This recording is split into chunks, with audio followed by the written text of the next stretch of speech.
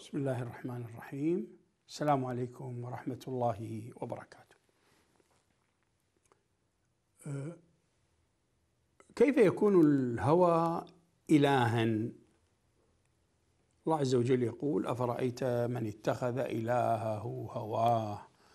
وأضله الله على علم وختم على سمعه وقلبه وجعل على بصره غشاوة فمن يهديه من بعد الله؟ طيب هذا تقرير قرآني بأن الهوى قد يصير إلها. وهذا التقرير الرباني القرآني اتخذه ضلال اليوم من الذين يستهدفون شبابنا وناشئتنا من الخارج أو الداخل منهج فحولوا الهوى إلى إله. وفق نموذج بسيط. بسيط للغاية. الإغراق بالشهوات. تأتي لنا أرقام اليوم مشاهدات اليوتيوب المخل والمواقع الرديئة. لنجدها أنها يعني في ارتفاع. هذه المواقع المخلة سيسحب اللي قلبه فيه هداية وفي أنوار هداية. سيعقبه بعد مشاهدة هذا المنظر المخل نوع من يعني اللوم للنفس. والاستحياء من الله عز وجل. لكن تبقى الرغبة يعني بعد فترة والشوق إلى ذلك الموقع فيرجع. لفعل أي شيء. موقع غلط مكالمة فيها نوع من المخالفة الشرعية مع جنس آخر يعني مع بنت مع ولد أو ولد مع بنت. ثم يشعر بالندم. لكن لذة المعصية ولذة المغامرة وغياب شوف لاحظوا معي انسحاب الإنسان من منطقة الأنوار اللي هي العبادة والذكر والاستغفار. لذلك الاستغفار دائما أوصي شبابنا بالاستغفار. يعني أول ما يقول عندي مشكلة أقول أستغفر كثر كثر. ربك غفور رحيم. لأن الاستغفار محاية. يشيل الوسخ ويرد الأنوار. في الحديث إن عن النبي صلى الله عليه وسلم الصحيح أذنب عبد فاستغفر فغفر الله له. ثم أذنب فاستغفر فغفر الله له. ثم أذنب فاستغفر فغفر الله له. قال الله علم عبدي أن له ربا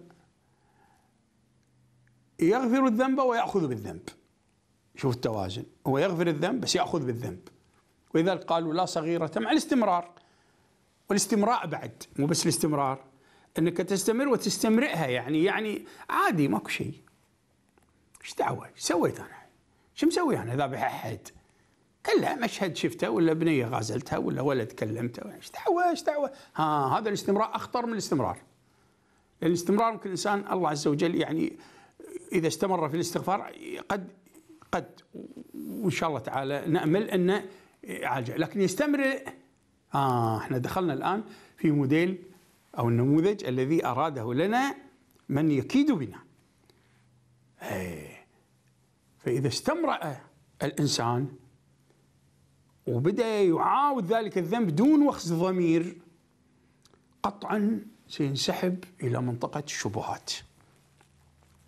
يعني يروح يدور له فتاوى تقول له يعني هذه أصلا اللي قاعد تشوف أنت مو صج هذه صورة. أو البنية هذه اللي أنت قاعد تكلمها أو الولد اللي أنت قاعد تكلمينه هذا أصلا أنتم قاعد تسوون شيء غلط. يعني أنتم قاعدين تسلون هي تسلية. شوف ندخل في الشبهات. ويبدأ اللي ينصح متشدد لدرجة لدرجة انه يصبح كلام الواعظ من إخوانك أو من إخوانك أو من خواتك أو من يعني وقعوا عليك وما يبون يفضحونك قدام أمك وأبوك وما يفضحونك قدام الناس. فينصحونك فتبدا يصير صدرك ضيقا حرجا كأنما يصعد في السماء. تبدأ ما تشتهي تسمع كلامهم لأن تقول بس بس لا تجيبوا لي طاري وقد قيلت لنا من بعض من بعض من أوغلوا في الانحراف انه دكتور لا تفتح لي هالباب. ترى يضيق صدري. قلت له كلامك صحيح لأن الله عز وجل يعني يقول أن مثلك ينقطع عنه الأكسجين. قال ها؟ قلت له إيه؟ ومن يجعل صدره ومن يريد أن يضله. يعني هو يصر على أن يضل ها؟ ومن يريد أن يضله يجعل صدره ضيقا حرجا كأنما يصعد في السماء. إذن الخطوة الأولى شهوات. ثانية شبهات. ثالثة شكوك. شكوك الحين شكوك في الدين. يعني هو السنة هذه لازمة. من قال؟ السنة يعني أنا ريال قرآني بس الحديث هذا شوي لك عليه. لأن شايلين الرجال. القرآن لا. طيب القرآن القرآن برضو أيضا نقله رجال. يعني القرآن ما نزل عليك أنت. نزل جبريل على قلبك. أيضا سند وروايات. بس هو لأن راعي الشهوة ما يشوف.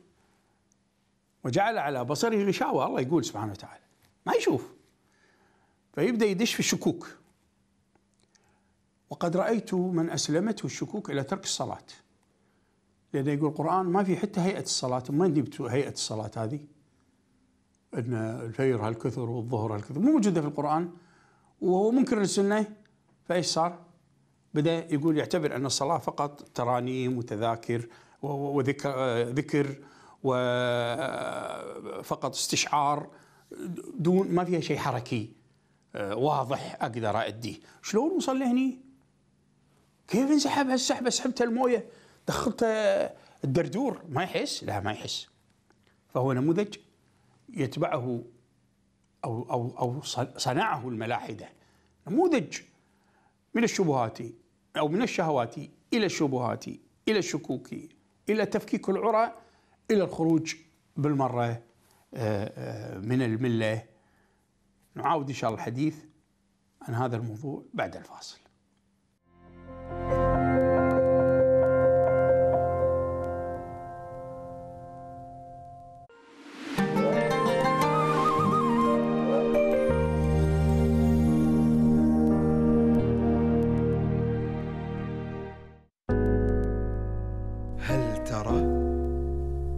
هل ترى قادمون إليك قادمون نمسح دموع عينيك لترى بابتهاج الجمال الوهاج والنفوس الصالحة هي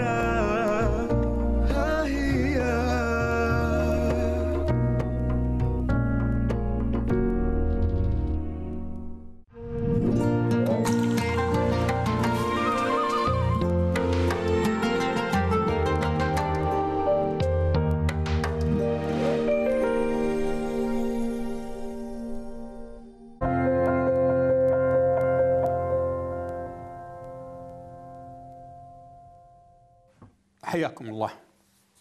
شنو الهوى اللي الله عز وجل قال ممكن أن يكون إله عند البعض؟ الهوى هو فعل ما تحب في مقابل ما يجب. يعني أنا ما أحب أروح حق يمعة الأهل. سيارة عبالة وما ما, ما على قولة أهلي حال هالأيام وعيالنا يقول لك ملاقة ما تونس. شيء أبو عياز قاعدين يسولفون؟ ملاقه هذا لأنه ما يحبه. بينما هو يجب لانها صلة رحم فيها رضا للرحمن. فعندما تفعل ما تحب وتنفر مما يجب لأنك ما تحبه وتفعل ما تحب حتى لو يجب ثم بعدين تفعل ما تحب حتى لو ما يجب ثم تفعل ما تحب حتى لو كان غلط ثم تفعل ما تحب حتى لو كان حرام فيصير هني أنت معيارك في الاتباع هو ما تحب لا ما يجب. فيصير إلهك هواك. هذا الموضوع. طيب أنا شو أسوي؟ إذا لا تبدأ تنتبه وتشغل سنسر داخلي أداة حساسة داخلية يسمونها التقوى. الله سبحانه وتعالى سماها التقوى. التقوى هي مراقبة النفس وسؤال النفس. هل هذا الذي أفعله هو هوى ولا دين؟ وإن كان هوى هل هذا الهوى يوافق الدين؟ ويوافق ما جاء به النبي صلى الله عليه وسلم؟ يعني لما يقول الرسول صلى الله عليه وسلم في الحديث الصحيح لا يؤمن أحدكم حتى يكون هواه تبعا لما جئت به. آه معيار. الهوى إحنا ما ننفك منه يعني إحنا كلنا أصحاب أهواء لكن في واحد هواه آه، رباني نوراني. والهوى يعني شنو الهوى؟ الهوى يعني إني ما أشتهيه اللي أحبه. فأحيانا كل شهوتي في رضا الله عز وجل وعليك بألف عافية. عليك بألف عافية. لكن إذا قادتك شهوتك وهواك وما تحب إلى مجانبة الصواب فشغل هذا الرادار اللي اسمه التقوى. إيش يعني التقوى؟ التقوى هي دوام المراقبة. لنفسك حتى لا تقع في حمى الله. الحمى حمى الله. شنو الحمى؟ الحمى أحيانا تخصص منطقة إحنا نسميها محمية. هاي المحمية ممنوع الدخول لها واللي يدخل عليه مخالفة. ليش؟ والله نبي نوع من النبات يطلع أنواع من الحيوانات تنمو فيها. يعني نكون قد أضررنا بالحياة البرية فنبيها تنمو. الله عز وجل له حمى. وهي المنطقة التي منع دخولها. يقول صلى الله عليه وسلم الحلال بين والحرام بين. طيب وبينهما أمور مشتبهات. ها آه الشبهات. شبهات اللي يلعب عليها العدو الآن الشبهات هذه ها؟ فمن اتقى الشبهات فقد استبرأ لدينه وعرضه. دينه عن الوقوع فيما يخالف الله وعرضه عن أن يكون مظنة السوء عند الناس. ها ألا أن ولكل ملك حمى. ألا وإن حمى الله محارمه. طيب أنا شلون أعرف ألا أن في القلب مضغة؟ ها إذا صلحت صلح الجسد كله صار المكان. إذا مراقبة الحمى والتمييز بين الحرام والحلال والشبهة هو قلبك. القلب مضغة. إذا صلحت صار رادار زين صلح الجسد كله. وإذا فسدت فسد الجسد كله. فعلم أنك أن هذا الحديث فيه حث على اجتناب أي أمر فيه شبهة. لأن في الحلال غنى. بالمناسبة الحلال غير قابل للحصر. والحرام ممكن أن يعد على الأصابع. تصدقون؟